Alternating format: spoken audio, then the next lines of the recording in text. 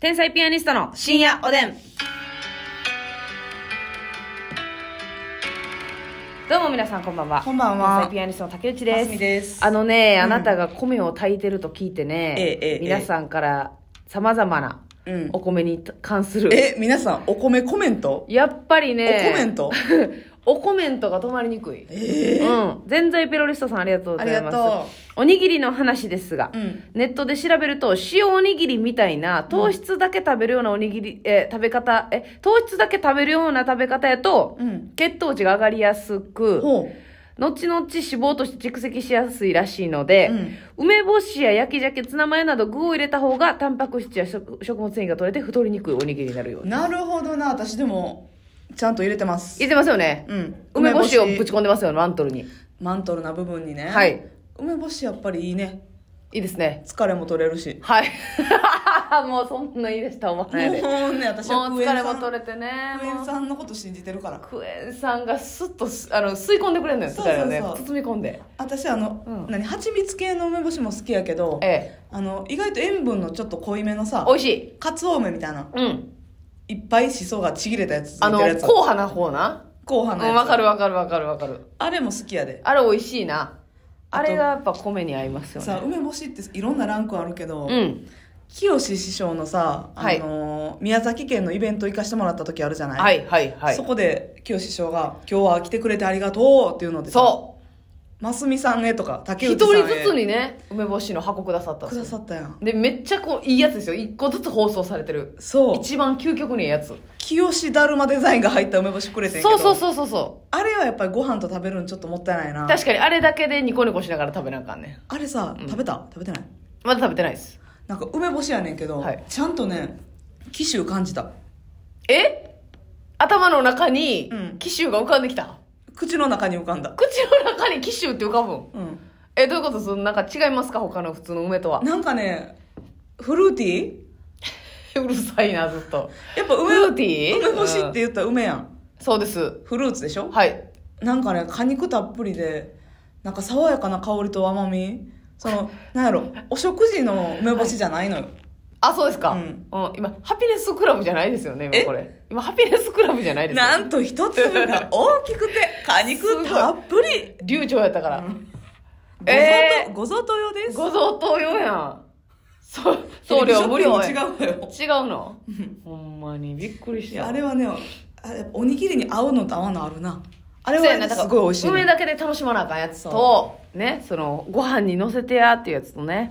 ちょっとお米情報ちょうだいよ。あとおさっきから、うん。ツイッターでバズっていたお米の炊き方で、はい。米2合にサラダ油塩白だしをうん。小さじ1ずつ入れたら、ほう。おにぎりにぴったりで、うん。冷めても美味しく食べられるっていうのがありました前に試してみたら確かにツヤツヤになってほんのり味もついていて美味しかったなるほどな。何って具材じゃなくて、うん。ちょっとこうほんのり味付けご飯なんや。はい。サラダ油塩白だしでございます。それ私やったらオリーブにするな。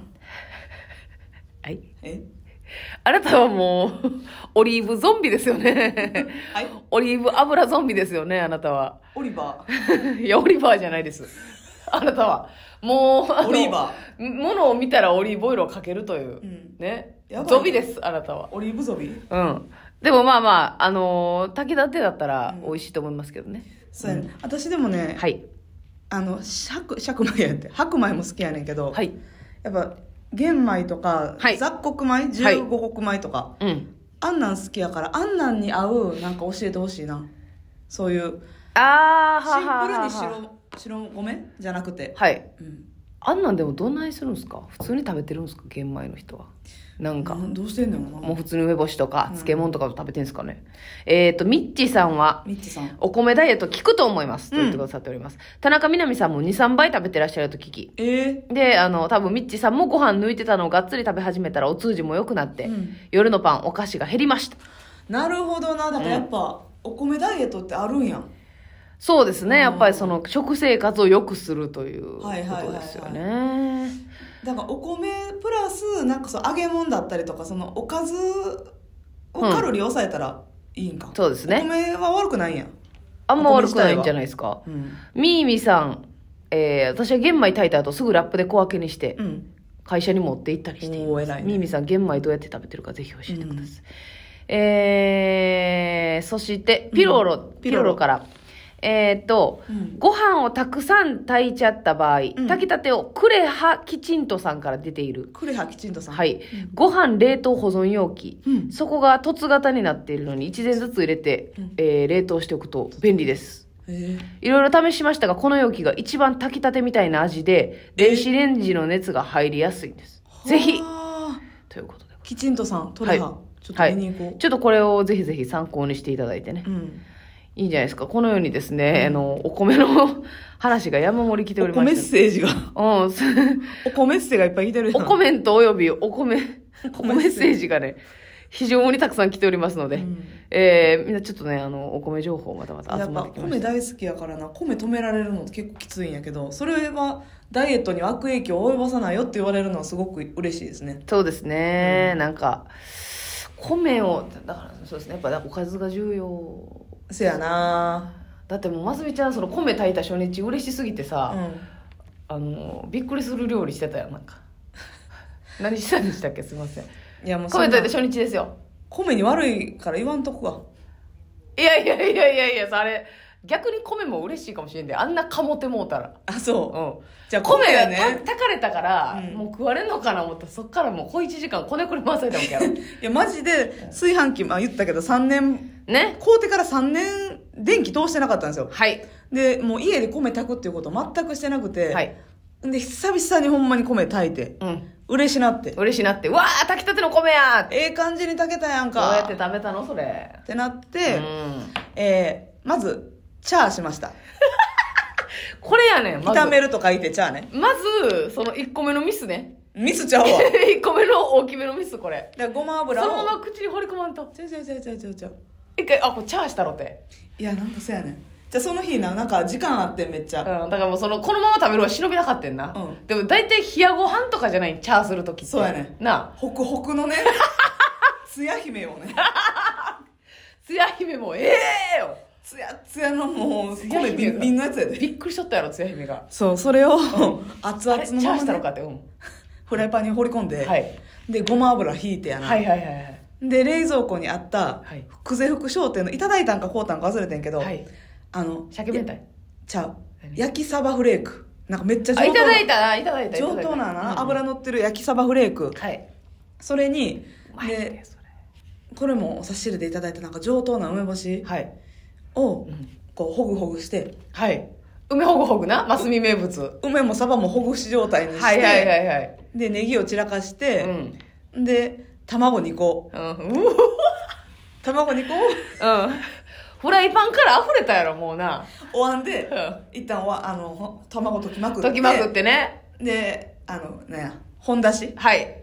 卵自体にまず味をつけてな。そうそう卵自体に卵が無味やったら意味ないねんから。そうそう卵自体に本だしと、これをやった意味あんのかどうかわからへんけどわかりませんけど。はあのだしだとか入れましたいはいはいはいはい。まあその、じゅわっと聞くかもしれない。小島のラテゾウ兄さんにもらった、はいはいはいはい。だしだをだしだね。韓国調味料。そうね。うん。牛のエキスが入ってるやつはい。だしだをで卵に溶いて。でもチャーハン自体には味味付けしてない味付けをね。もう梅干しも東北でいうとこの味付けを。味付けをね、はい。サバも梅も味しっかりついてるしついてますからでね。卵にも味付けたからそうや。もう味いらんいらん。味が飽和してる。それで、うん。火強火でね。チャーして。チャーして。うん。で言うたら、えー、サバ梅チャーハンか。い。まあ、卵味、うん。ね、入ってますわ。入ってますわ。まずまずね。ね。それを、頬張ったわけでしょ。それを頬張ってんけど、なんかちょっと時間あったからあれ？カレーをあれ？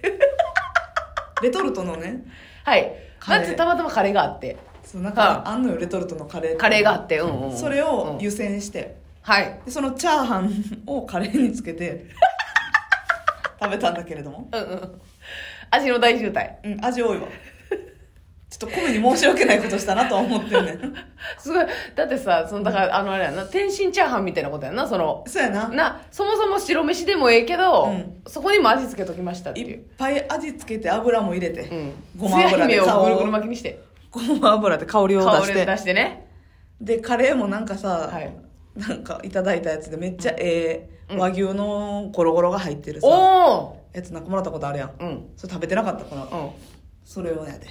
頬張って。頬張って。これは大こ暴れれはすごいよ。つや姫味だらけ、そうやね。うん、味だらけやったね。味しかせんって感じ。味かかなんって感じで。味しかせんな。すごいね、うん。でもまあまああのーまあでもそうです。にっこりしながら食べたっていうことでそうそうそうそうそれはあのありがとうございます、うん。ね、別にそれはいいことですか？何してんねんとは思ったお米ごめんねとは思ったけどだけど時間があったから。うんマスミが悪マスミには悪いわその時間余らせたらな。そうやろ。そう。マスミだって時間を使って味付けたいねんから。そうそうそうそう。そうそうそう感謝してもらわんと米側に。あそんな構ってもらえることないからね。そう。うん。だからまあまあ。家でも家出るまで2時間あったからチャーして湯煎しても湯煎してその間に卵を溶いてやな。ええやんだしだを溶け込まして。でもまあまああのね、うん。その次の日からはい。構成してね。うん。あでもなんかシンプルおにぎりで食べてましたから。ね皆さんそれは一件だけ許してください、うん。ということでございますけれどもね。だからまあこっからやっぱりうん。ちょっと今いただいたお米をきっかけにですけども、うん。自分でもお米買ってやろうかなって感じですか？そうそうそう2合だ、えー、3合炊きの炊飯器やねんけど、うん。まあ、一応今のところ2合ずつ炊いててはい。いってまうなやっぱ炊いたら。じゃあ1合にしたらちょっと足りひんか。じゃあね米ってなうん。ちょっと多めに炊いた方が美味しいねん。あ1合炊き。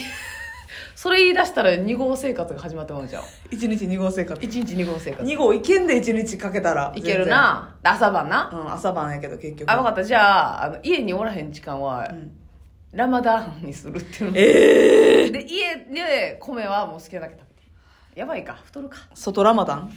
そこ外ラマダン。竹内が見張って。外ラマダン。だから外の時もうん。逆にうん。お弁当おかず食べずに米だけ食べる。じゃああ米だけ人間。米だけ人間生活。これは過激なダイエットが始ま逆にりました。過激かおやすみチャンネル登録ってした方がいいもんうね、ん。私やったら登録するかな。私もすんのよ。登録してみたらどう？どう？